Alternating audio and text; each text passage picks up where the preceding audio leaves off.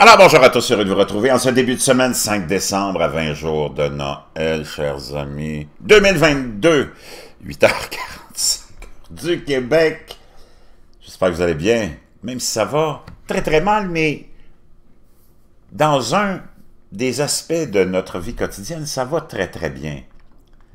Et voici l'histoire. Depuis qu'Elon Musk a acheté Twitter, on en apprend des vertes et des pas mûr, comme dirait ma mère, sur le contrôle qui était presque monopolistique des gauchistoïdes. Hein? Cette espèce de race nouvelle qui pollue l'univers entier. Les gauchistoïdes, une nouvelle race totalitaires qui prennent leur, comment dire, énergie parmi la Chine communiste de Jeff Bezos et Amazon, où on le sait très bien, Xi Jinping. Si vous pensez que Joe Biden, Emmanuel Macron, Donald Trump, Justin Trudeau et tous les autres politiciens sont des marionnettes, ben Xi Jinping est une marionnette aussi, et les tyrans sont des marionnettes aussi. Toute la planète appartient à ce club select de Vanguard et de BlackRock, ou de tous ceux qui sont associés à ces gens-là. Et Elon Musk, étant probablement, on l'a qualifié avant euh, son achat de Twitter, hein, il était l'idole de, presque tous les gauchistoïdes aussi, hein, parce que c'est le créateur, le fondateur de euh, Tesla, la voiture électrique SpaceX, Neuralink, et on en passe et on en passe, mais est devenu instantanément un vilain, décrit comme un homme qui pourrait mettre en danger l'univers entier des gauchistoïdes. Avec l'achat de Twitter, il en a fait une compagnie privée. Il a acheté ça avec son argent de poche. 44 milliards. Et on peut qualifier peut-être son geste d'héroïque, parce qu'il savait ce qui l'attendait en achetant Twitter. Mais il l'a fait parce que il se sentait obligé de le faire, parce que c'est quelqu'un qui aime l'Amérique, étant originellement d'Afrique du Sud, c'est quelqu'un qui aime l'Amérique et qui a pensé que la liberté était en grand danger, menacée, comme dans un film de Star Trek, avec une nouvelle race, les gauchistoïdes, venus directement des fins fonds de l'univers pour éliminer le fameux premier amendement de la Constitution américaine qui est le droit de s'exprimer. Même si tu n'aimes pas ça, même si les gauchistoïdes n'aiment pas entendre quelque chose qui vient contredire leur idéologie qu'ils veulent répandre dans tout l'univers et contrôler tout l'univers, ben, c'est un droit qui est fondamental à la vie. Partout. Puis on le voit, les gauchistoïdes ont deux poids, deux mesures, hein, comme tous les vilains euh, sont des hypocrites, sont là à décrire Elon Musk comme un monstre, une menace pour la démocratie parce qu'il remet le droit de parole et la liberté d'expression en avant-plan, ce que détestent les tyrans habituellement, mais vont être silencieux sur ce qui se passe en Iran depuis des semaines, manifestation de la population qui est opprimée, silence de la grande famille des gauchistoïdes, silence sur ce qui se passe en Chine depuis des jours et des jours et des jours, et dans l'usine d'Apple, en plus, des, qui sont des employés euh, euh, exploités par Apple. Apple a coupé, je ne sais pas comment ça s'appelle, il y a des, des espèces d'applications de, qui permettent aux gens de communiquer entre eux. Ça a été coupé à la demande du gouvernement chinois et Apple s'est plié à la demande du gouvernement chinois. Apple se plie à toutes les demandes du gouvernement chinois. Hein? Mais encore là, silence des gauchistoïdes, cette race qui menace la liberté sur Terre. et dans d'autres pays aussi, où d'autres atrocités se passent, c'est toujours silence des gauchistoïdes. Mais ils sont là à nous démoniser des gens comme Elon Musk et d'autres, qui ne font qu'exposer des gauchistoïdes pour nous les montrer.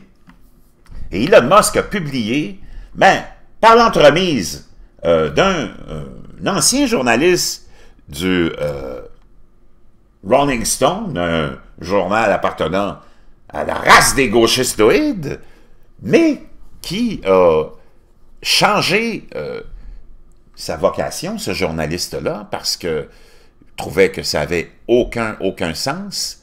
Hein? Et Matt Taibbi, qui est ce jeune homme-là, a reçu exclusivement des documents d'Elon Musk, qui est maintenant le propriétaire unique de Twitter, parce qu'il en a fait une compagnie privée, des documents qui démontrent que pendant la campagne électorale présidentielle des États-Unis de 2020, tous les réseaux sociaux, avec le FBI, avec le bureau chef du Parti démocrate des États-Unis et les responsables de la campagne de Joe Biden, ont effacé tous les tweets, ont fermé tous les comptes de ceux qui voulaient partager l'histoire du fameux portable de Hunter Biden.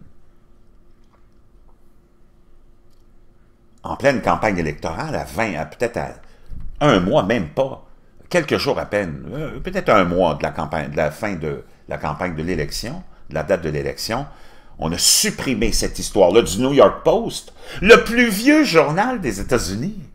150 ans ou 135 ans ou 140 ans d'existence. Et 50 responsables des services de renseignement, tous des gauchistoïdes, sont venus dire dans les médias gauchistoïdes que c'était exactement de la propagande russe, encore une fois, que les Russes voulaient euh, manipuler l'élection, que tout ça, c'était... ça sentait le, sentait la conspiration russe, et on a supprimé cette histoire-là de ce laptop dans lequel on incriminait Joe Biden hein, dans des, euh, histoires euh, financières avec l'Ukraine, la Chine, et toutes les espèces de perversions de son fils Hunter, qui tout le monde le sait, il pris des problèmes de drogue, problèmes, et d'ailleurs qui a siégé sur des conseils d'administration, entre autres d'une compagnie Burista qu'on appelle euh, Énergique, une compagnie énergétique en Ukraine avec aucune connaissance, juste parce que c'était le fils de, de l'ancien vice-président Joe Biden, à faire des 30, 40, 50, 60 000 dollars par mois et plus, et recevoir des, des millions de dollars d'investisseurs de, Chine dans des compagnies bidons. Ce gars-là n'a aucune compétence sauf celle de fumer du crack et de baiser des prostituées de luxe. Et on a voulu supprimer cette histoire-là. On l'a fait, on a supprimé tous les comptes et on a associé tous ceux qui voulaient partager cette information-là, on l'a associé à de la pédophilie. Donc, tu pouvais pas... C'était bloqué. Imagine-toi. Puis l'histoire s'est avérée vraie. Hein? Un an après l'élection, ou un an et demi, tous les médias ont dit ouais, c'était finalement c'était l'histoire du laptop et du, du portable tous les gauchistoïdes ont dit oui, oui, oui, c'est, finalement, c'est une histoire vraie, mais c'est un petit peu plus, un petit peu trop tard. Et tu as, au moins, selon un sondage, 40% d'Américains qui ont dit que s'ils avaient su que cette histoire-là était vraie, auraient voté différemment. Donc, on le sait, ça aurait eu une implication différente et Donald Trump aurait été réélu pour un deuxième mandat. Et Elon Musk avait dit, moi, quand je vais arriver là, je vais être transparent. Et là, il est en train de rendre tous les gauchistoïdes complètement cinglés parce qu'il a pris le contrôle. faut pas oublier que Twitter, c'était la base de tout cet univers gauchistoïde. Tu lançais quelque chose, des, des idées politiques, toutes gauchistoïdes sur Twitter, puis là, ça s'en allait ailleurs dans tous les autres médias gauchistoïdes et les politiciens gauchistoïdes. Et là, ayant perdu euh, ce contrôle-là, les euh, médias sont en complet, complet comme on dit, meltdown, complète crise d'hystérie. Les gauchistoïdes, c'est un peu comme si tu leur avais envoyé hein, euh, aux satanistes de l'eau bénite. Tu, vois ça dans les comment ils réagissent. Ils sont en train de fondre et brûler. Ben, c'est exactement euh, la même réaction que les gauchistoïdes, les ont depuis qu'Elon Musk a acheté Twitter. Et là, on pense que Twitter va faire faillite, qu'il va tout perdre, que Tesla, là, ils t'en mettent plein, plein, plein. Il faut que tu te rappelles une chose. Pendant qu'ils sont là à te parler toutes sortes de folies dont ils veulent te parler, les gauchistoïdes, hein, quand ça fait leur affaire, ben cette histoire-là, de ces documents-là qui ont été donnés à euh, Matt, euh, comment il s'appelle, ce jeune homme-là, de l'ancien de, Rolling Stone, Rolling Stone Magazine, Matt Taibbi, ben, aucun des médias traditionnels a parlé de ces documents-là qui prouvent qu'il y avait une collusion extraordinaire entre les exécutifs de Twitter, le FBI qui était venu dire à Twitter, pas Facebook, et même Zuckerberg l'a avoué, ils dit on a eu plein de visites du FBI qui nous prévenaient toute la clique du FBI gauchistoïde, parce que les gauchistoïdes ont envahi tous les secteurs. Autant en Europe, les gauchistoïdes contrôlent l'Union européenne, contrôlent la plupart des gouvernements. Faut pas oublier qu'on est tous sous la tyrannie de bureaucrates, technocrates, cravatologues qui ne sont pas élus, et on leur a donné un pouvoir extrême, notre pouvoir à nous, qu'on devrait reprendre. Et j'aimerais vous rappeler que tous ces gauchistoïdes qui contrôlent toutes les plateformes, tous les médias, tous les gouvernements, toutes les agences, comme l'ONU et toutes les autres, tous les, ces gauchistoïdes-là, existent seulement parce qu'on leur a donné notre pouvoir à nous. Et j'aimerais vous rappeler que ce vieux principe qu'eux-mêmes ont créé, gauche-droite, ça n'existe pas. Et on devrait arrêter de le faire vivre. C'est pas gauche contre droite, c'est nous contre eux. On est tous ensemble, et c'est ça que j'aimerais que vous compreniez, tous ceux qui sont faits attraper dans le filet des gauchistoïdes en pensant que c'était hein, euh, la grande le bel exemple de la grande moralité, parce que c'est ça que prônent les gauchistoïdes. Oh, nous, on prône la, grande euh, euh, unité, la grande moralité, c'est nous qui avons le bon côté de l'histoire. Ces gens-là sont complètement monstrueux. C'est vraiment comparable à ce que tu peux voir de plus atroce dans Star Trek quand on est envahi par les méchants, euh, les, autres races, qui font partie de cette série-là, dont j'ai oublié les noms, des vilains. Ces gens-là sont des hypocrites qui font souffrir le peuple depuis des décennies, voire même des siècles. Puis on leur a donné trop de pouvoir à ces gauchistoïdes-là. Et il faut arrêter absolument de vivre dans cet univers de gauche-droite. C'est pas gauche contre droite, non. C'est complètement c'est complètement truqué, ça. C'est nous contre eux. C'est ça qui devrait se passer. Et si ça se passait, tout changerait instantanément. Donc, je vais vous rappeler, juste comme ça, que c'est toujours deux poids, deux mesures avec les gauchistoïdes.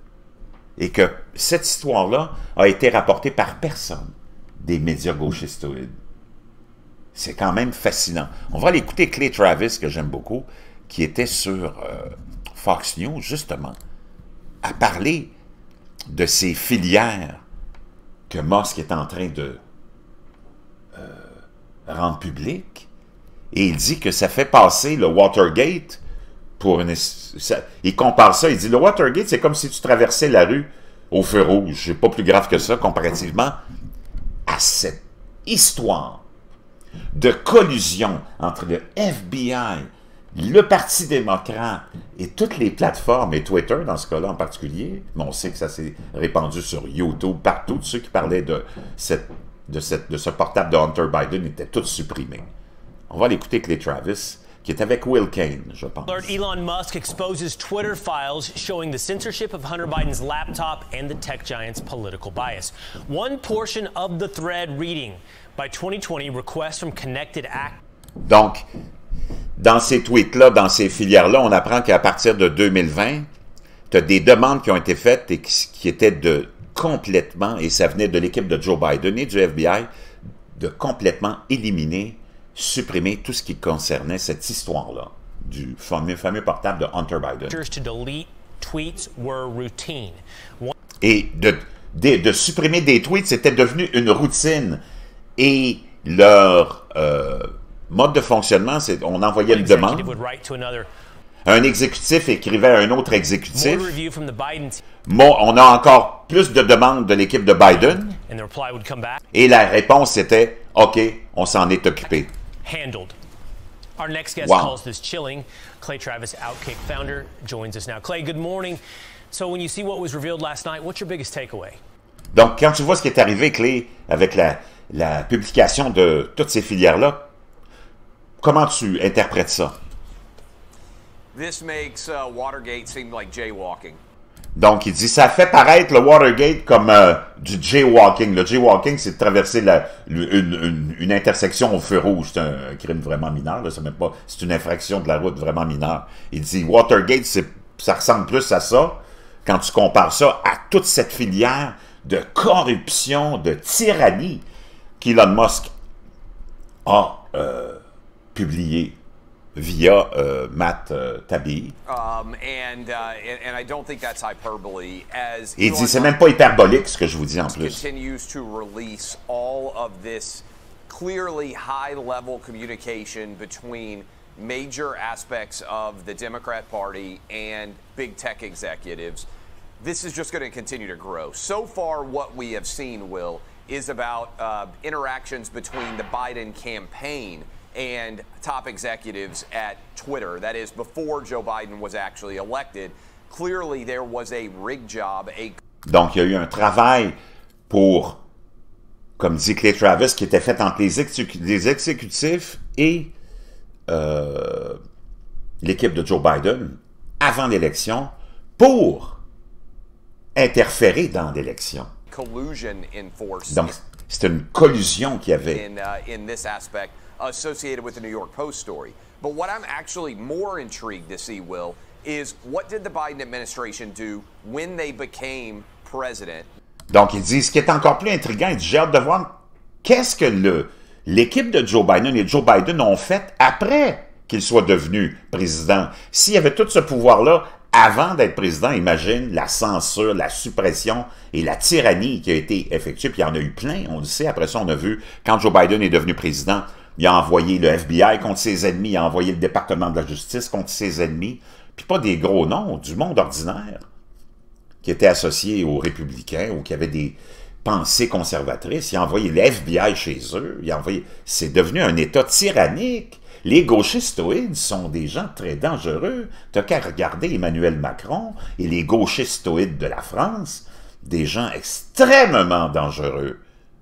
When they were in the White House because we know Jen Psaki bragged from the White House podium about how the White House was regularly demanding that different uh, tweets and that different people. Et tu avais Jen Psaki, la, qui était la première euh, secrétaire de presse de Biden, avant d'être remplacée par Karine euh, euh, Jean-Pierre, qui vantait que l'administration de Biden demandait les suppressions de plein de tweets qui faisaient pas son affaire et de, que des gens soient censurés pour toutes sortes de questions. Donc, vraiment, le monde, l'univers des gauchistoïdes a été euh, brassé, euh, s'est fait euh, frapper par un tremblement de terre majeur, c'est ce tremblement de terre-là, hein, l'achat de Twitter par Elon Musk. Que tu l'aimes ou pas, c'est pas important. Il faut que tu vois plus globalement la photo de famille qu'on a ici. Et c'est ton droit aussi de parole un jour qui va être affecté par ces gauchistoïdes, toi-même le gauchistoïde. Donc, je laisse partager ça. On commence la semaine avec un nouveau terme dans notre lexique que j'ai créé cette nuit en me réveillant subitement. Photo des, des euh, les comment c'était quoi les méchants dans euh, Star Trek? On va aller voir ça avant qu'on se quitte c'est trop important. Je sais pas si je peux le trouver.